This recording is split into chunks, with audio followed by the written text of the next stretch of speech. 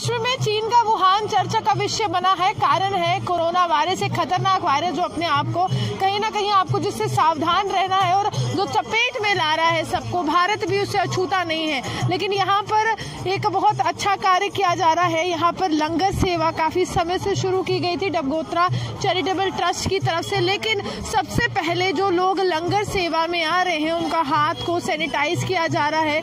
और यहाँ पर अगर हम कहें तो हैंड सैनिटाइजर का इस्तेमाल जो है डबगोत्रा जी यहाँ पर कर रहे हैं, जिससे हाथों की सफ़ाई हो सके। और ये तस्वीरें हैं गवर्नमेंट मेडिकल कॉलेज की। और इसके बाद के अगर मैं दृश्य दिखाऊँ तो साईं बाबा जी के नाम का यहाँ पर थर्सडे को लंगर लगाया जाता है और उन लोगों के लिए लगाया जाता है जो सक्षम नहीं होते हैं बाहर खाना खाने में, होटलों में खाना खाने में। लेकिन तस्वीरें आपको मैं दिखाऊँगी। तो अभी भी लोग यहाँ पर लंगर जो है वो खा रहे हैं, खाना खा रहे हैं, कुछ मरीज़ हैं उनके साथ जो उनके तीमारदार आते हैं, जो अटेंडेंट आते हैं, वो खाना खा रहे हैं। लेकिन बहुत बड़ा इनिशिएटिव है कि कोरोना जो है कहीं ना कहीं एक जाल की तरह फैलता जा रहा है। लोगों को सावधानी बरतने के लिए, उनको ये समझाने के लिए यहाँ से एक बहुत बड़ी शुरुआत की गई है। और यहाँ पर अगर मैं कहूँ तो जो लोग यहाँ पर लंगर दे रहे हैं, उन्होंने भी मास्क लगाए हुए सावधानी के तौर पर। और लोगों को भी यहाँ पर जागरूक किया जा रहा है कि आप जो है सावधानी बरतिए आपकी जान बहुत कीमती है और यहाँ पर भारी रश रहता है। आप हमेशा अगर कभी भी यहाँ पर आए तो यहाँ पर लोग लंगर खाने के लिए आते हैं, लेकिन यहाँ पर भी जो लोग यहाँ पर लंगर दे रहे हैं, जो दाल, चावल लोगों को दे रहे हैं, उन्होंने भी मास्क लगाए हैं और यहाँ पर एक बहुत बड़ा इनिशिएटिव है लोगों को समझाने की कोशिश की जा रही है कि किस तरह से यहाँ पर आपको मास्क लगाने हैं। साईं बाबा जी के नाम का लंगर है, हर थर्सडे को ये लगाया जाता है, लेकिन यहाँ पर सीधे तौर पर सावधानी बरतने की बात जो है की जा रही है। तो यहाँ पर अभी भी जो है कार्य चल रहा है। हर थर्सडे को दोपहर डेढ़ बजे ये लंगर लगाया जाता है। तब गोत्रा जी, अब ये जो एक इनिशिएटिव है, आपको लगता है ये यहाँ से शुरू होगा और पूरे जम्मू तक फैलेगा कि हैंड सैनिटाइजेशन कितनी इम्पोर्टेंट है?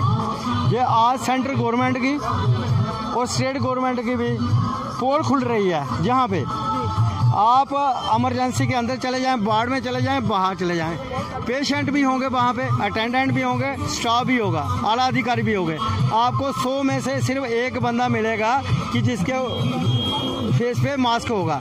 और ये क्यों हुआ कि जैसे हमारा प्रोग्राम बना कि जो कोरोना वायरस फैल रहा है पूरे विश्व में तो उसको मद्देनज़र रखते हुए इनके लिए कुछ हम भी अपनी तरफ़ से ट्रस्ट की तरफ़ से करें। तो हमने प्रोग्राम बनाया कि आज हम जहाँ पे फेस मास्क वगैरह डिस्ट्रीब्यूट करेंगे। और जैसे हम सैनिटाइजेशन से लोगों के हाथ भी साफ़ करवा रहे हैं ये हमारा प्रोग्राम था। लेकिन मैंने घर में ये सोचा था कि दो मिनट के लिए मैं जाऊँगा दुकान से खरीद लेंगे। लेकिन मेरे को एक घंटा लगा पूरा सिर्फ़ सौ मास्क खरीदने में। किसी के पास पाँच सौ सौ मास्क आपने उसका क्या करना था? हमने जहाँ पे डिस्ट्रीब्यूट करना था। आज हमारा था कि हज़ार दो हज़ार लोग जहाँ पे मास्क पहन के ही अंदर जाएँ।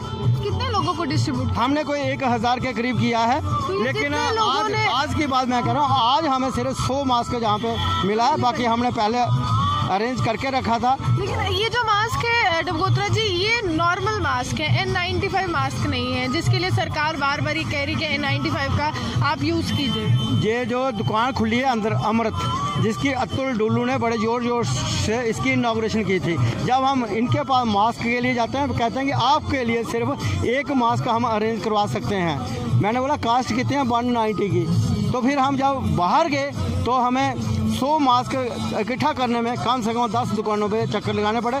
इन्होंने स्टॉक बंद कर दिया है। दे नहीं रहे हैं। ये ब्लैक करेंगे बाद में। ये जो मैंने अभी ख़रीदा है, जो लगाया है फेस के ऊपर, इसकी कॉस्ट तीन से पाँच रुपये से ऊपर नहीं होगी। लेकिन आज ही, अभी इतना वो नहीं फैला है वायरस लेकिन आज भी ये यहाँ पे ब्लैक मेल शुरू हो गई है। और तीन रुपए की चीज़ बीस रुपए में दे रहे हैं और बिल मांगने पे लड़ाई झगड़े पे आ जाते हैं। तौर पर आपको तस्वीरें दिखा रही हूँ। यहाँ पर महिलाएँ भी हैं उन्होंने मास्क लगाया हुआ है पुरुष भी हैं। यहाँ पर तमाम लोग हैं जो यहाँ पर लंगर ग्रहण करने के लिए आते हैं खाना खाने के लिए आते हैं। दोपहर का समय होता है हर थर्सडे को यहाँ पर खाना खिलाया जाता है अच्छा कार्य किया जाता है। सेवा भाव से अपने दिल में एक सेवा भाव होता है वो पूर्ण किया जाता है। लेकिन कोरोना वायरस की चपेट में भारत कहीं ना कहीं आ रहा है। तकरीबन बीस से भी ज़्यादा केसेस भारत में देखे जा रहे हैं, जिससे बार बार अगर मैं कहूँ तो एडवाइजरी जारी की गई है। केंद्रीय स्वास्थ्य मंत्री कह रहे हैं कि डरने की बात नहीं है। अफवाहों पर आप बिल्कुल भी ध्यान नहीं दीजिए।